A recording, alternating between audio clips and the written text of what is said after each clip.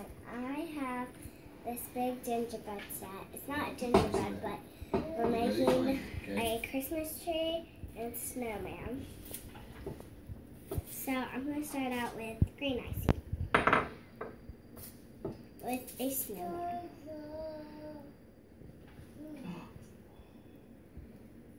A toy Christmas.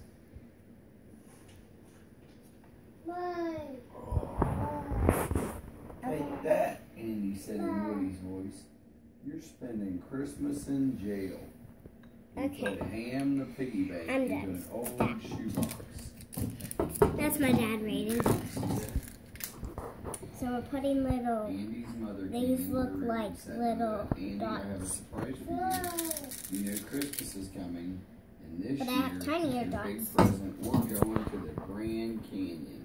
Andy dropped Woody and Buzz on the floor and jumped up and down. Hooray! He said, That's the best present ever. Can I take Buzz and Woody? He picked up his two favorite toys.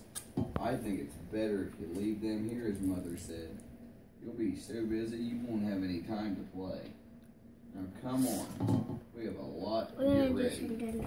mix. Oh. The moment the door shut behind Andy, And then we're gonna make a you mistletoe see Woody and Buzz? on it. You see him? I'm pretty Sure, sure it's I'll Andy's big it. present. Yeah. That means no other toys can take our places. I was worried Andy was going to get a video game, Ham said. Okay. Now All put toys started at talking at once. there. Hold on a minute, We're done with that Woody one. said. You can see.